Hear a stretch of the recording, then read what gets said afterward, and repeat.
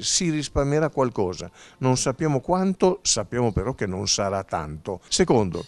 la composizione del Senato è assolutamente sbagliata, cioè il Senato è fatto da 74 mm, senatori nominati di nuovo, non sappiamo come, dai consigli regionali, che ricordo a tutti sono stati fino a tempi recenti, forse ancora, ancora sono, una classe politica screditata e quindi avremo gli screditati che mandano i nominati a fare i senatori, i quali comunque avranno un, due problemi. Il primo che dovranno fare due, due lavori perché saranno consiglieri regionali e anche senatori e quindi uno dei lavori sarà eh, di, difficile da, da, compiere in maniera efficace. Secondo, molto spesso dovranno avere dei rimborsi perché andare e rimanere a Roma, immaginiamo solo i senatori della Sardegna eh, de, del Piemonte vengono da lontano, devono essere in qualche modo eh, remunerati.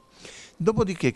ci sono 21 sindaci, anche qui non sappiamo bene come verranno scelti e incredibilmente ci sono 5 senatori nominati dal Presidente della Repubblica che in una Camera delle Autonomie non c'entrano assolutamente nulla. Sappiamo però, e voglio sottolineare questo punto specificamente, che certo dovrà rappresentare le autonomie, ma che incredibilmente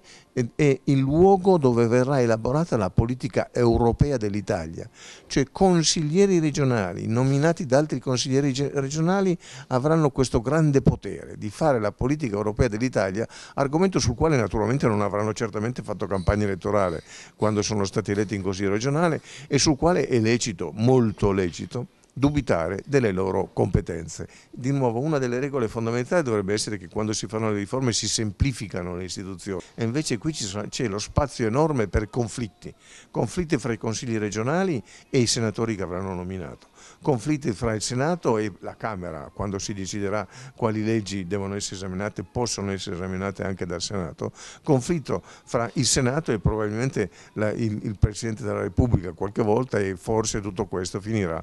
anzi non forse, quasi sicuramente finirà alla Corte Costituzionale. Il giudizio è negativo da due punti di vista, perché le riforme sono fatte male tecnicamente, quindi questo deve essere detto in maniera alta e forte, e secondo perché non, non riescono a conseguire l'obiettivo. Qual era l'obiettivo? Di rendere il governo più forte, più stabile, più efficace? E allora certamente non sarà la riforma del bicameralismo che cambia questo, bisognava intervenire effettivamente sui poteri del governo e invece si interviene in maniera surrettizia attraverso la legge elettorale che in qualche modo eleggerà il capo del governo e incidentalmente toglierà al Presidente della Repubblica il potere di nomina. Il Presidente della Repubblica si troverà davanti un capo del partito che ha vinto, gonfiato di seggi, il quale dice mi devi nominare Presidente del Consiglio. Questo Senato il Senato così come eh, viene riformato non risolve nessuno dei problemi italiani.